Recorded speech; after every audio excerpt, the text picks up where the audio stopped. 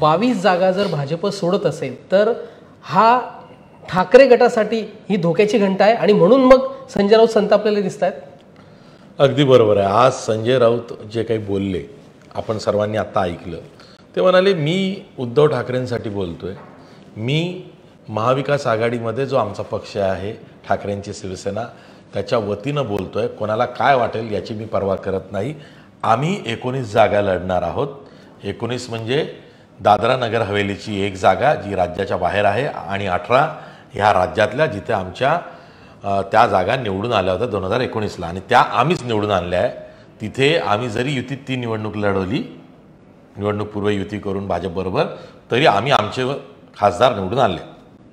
आता या अठरापैकी तेरा खासदार हे शिंदे गटाकडे गेले आहेत शिंदे गटानं सांगितलं आहे बावीस जागा आम्ही लढवतो आहे अजून भाजपनी काही असं सांगितलेलं नाही आहे की शिंदे गटाला आम्ही बावीस जागा नाही देणार आहे त्यापेक्षा कमी देणार आहोत. ही एक स्ट्रॅटेजी आहे. ही स्ट्रॅटेजी अशी आहे की बावीस जागा जर का शिंदे गट लढवणार असेल भाजपबरोबर युती करून तर मग शिंदे गटाला ती शाश्वती आहे की भाजप पूर्ण काळजी या बावीस जागांची घेणार आहे. आणि मग त्यासाठी म्हणून संजय राऊतही म्हणतायत की तो खुराडा आहे भाजपनं जोपासलेला.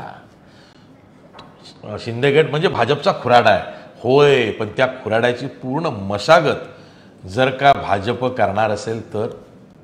आणि जर का शिंदे गटाकडं आज जे चिन्ह आहे ते न्यायालयात न्यायप्रविष्ट आहे.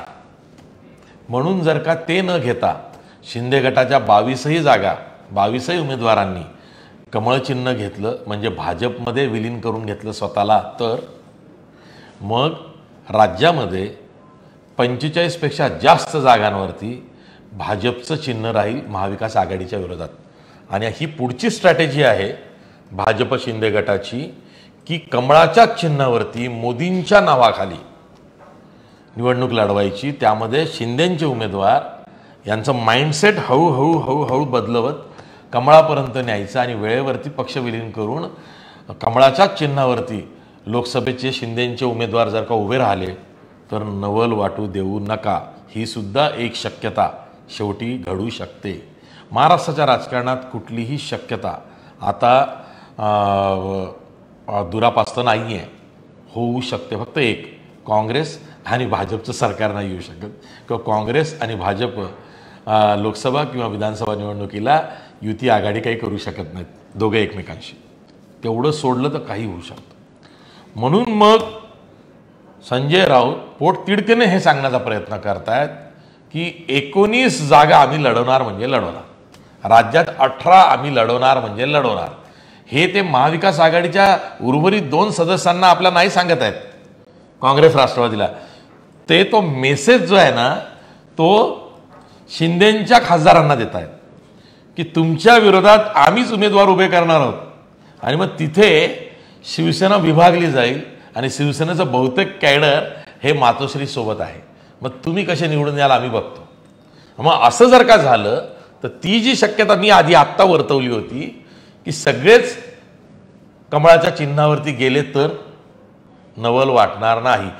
आत्ताही भाजपनं एकशे साठ ठिकाणी जे महासंकल्प अभियानाच्या निमित्तानं आपापले निरीक्षक केंद्रीय मंत्री पाठवून मतदारसंघांची बांधणी कशी करता येईल? यासाठी निवडलेले मतदारसंघ कोणते होते? निवडलेले मतदारसंघ ठाणे कल्याण कल्याण मतदारसंघ होता. एक. कल्याण मतदारसंघ हा मुख्यमंत्री एकनाथ शिंदे यांचे चिरंजीव श्रीकांत शिंदे यांचा आहे. ते तिथले खासदार आहेत. तिथे अनुराग ठाकूर केंद्रीय म्हणजे प्रसारण मंत्री युवक क्रीडा मंत्री ते येऊन त्यांनी जवळजवळ चार ते पाच वेळा तिथे व्हिजिट केलेली आहे. सगळा आढावा घेतला आहे मतदारसंघाचा.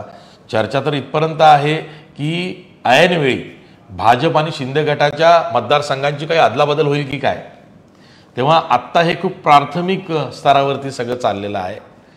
शिंदे गटाला बावीस जागा लढायला भाजपनं देणं ही जी बातमी आहे तशीच ही सुद्धा बातमी कोणती आहे? की संजय राऊतांनी म्हणणं की आम्ही काहीही करून अठरा जागा महाराष्ट्रातल्या लढणारच आहोत. याचा अर्थ असा आहे की दोन्ही गट ठाकरे आणि शिंदे गट एकमेकांना मेसेज देत आहेत की कोणी कुठून फुटून जाऊ नये कोणी कुठेही सैरभैर होऊ नये. तुम्हाला तुमचा स्टेक मिळणार आहे. तुम्हाला ती जागा मिळणार आहे. कारण शिंदे गटाच्या खासदारांमध्ये सुद्धा एक संभ्रम आहे.